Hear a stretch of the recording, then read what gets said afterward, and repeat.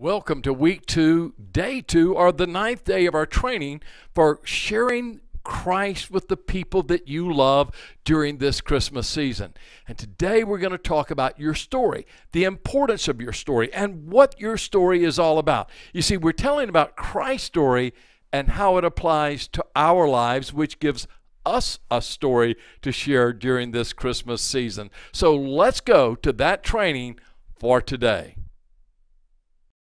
This week, we're talking about sharing your testimony with other people. The Bible says, and they overcame him, speaking of Satan, by the blood of the Lamb and the word of their testimony, and that they love not their lives even unto death.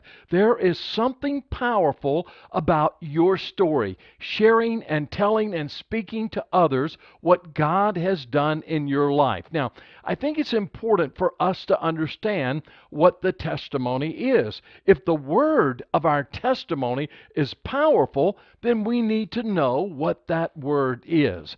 That word is simply a, a, a, story of what God has done in your life, what you have seen Him do, what you've heard from Him, what you've experienced. That is your testimony. If someone was to go to court and they were to have to give a testimony, they would be called on to tell what they had seen, what they had heard, what they had experienced. there was a man in the Bible who was a blind man and God touched him and God healed him and, and he and, and he, he just wanted to tell everyone and they he went around telling people that Jesus had healed him and they were asking him all kinds of questions and he said, "You know, I don't know the answer to all of your theological questions. All I know is this. I once was blind, but now I can see."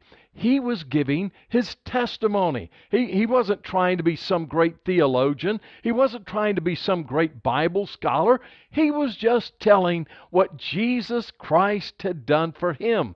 And that's what your testimony is. That's the power of the word of your testimony. People were amazed at what God had done in his life. And I can tell you right now, Drug addicts can be set free. People who are on, uh, filled with depression and discouragement can find joy and peace.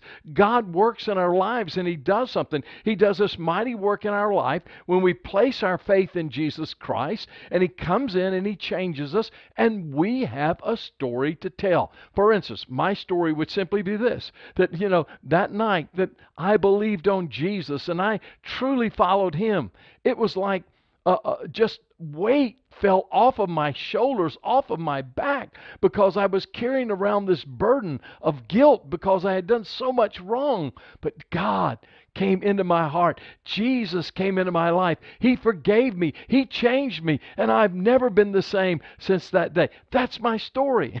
it's been my story for 54 years now.